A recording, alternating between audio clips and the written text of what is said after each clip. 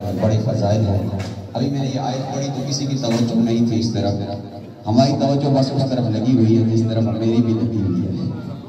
اور مولوی نے ہمیں زیادہ لگی ہوئی تو خیر، اللہ تعالیٰ ہم سب کو سمجھنے کی توفیق عطا فرمائے۔ تو توجہ ادھر رکھیے گا، صرف اگر توجہ نہیں رکھیں گے تو ٹائم زیادہ لگے گا۔ تو توجہ رکھیں گے تو پانچ منٹ لگ جائیں گے۔ حدیث مبارکہ سنیے۔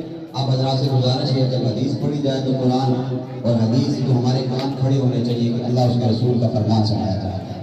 اب سنیے، نبی پاک صلی اللہ علیہ وسلم نے ارشاد فرمایا، جو مجھ پر درود پڑتا ہے، درود پاک کی فضیلت۔ کس کی فضیلت ہے؟ اے بزرگاں کے لیے ذرا گزارش ہے، ذرا توجہ رکھیے گا۔ بزرگ حضرات توجہ رکھیے۔ نبی پاک صلی اللہ علیہ وسلم نے ارشاد فرمایا، من صلی علیہ خمسین مرتن فی کل یوم صافقته یوم القیامہ سب کہہ دے سبحان اللہ۔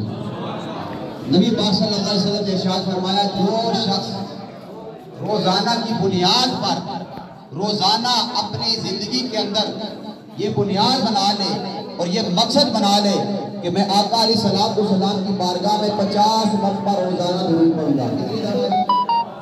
یہ حدیث سنیے گا تو آپ نے جو بات میں سمجھانے لگا اس پہ آپ نے سبحان اللہ خود آتے ہیں حضور علیہ السلام نے فرمایا، جو بندہ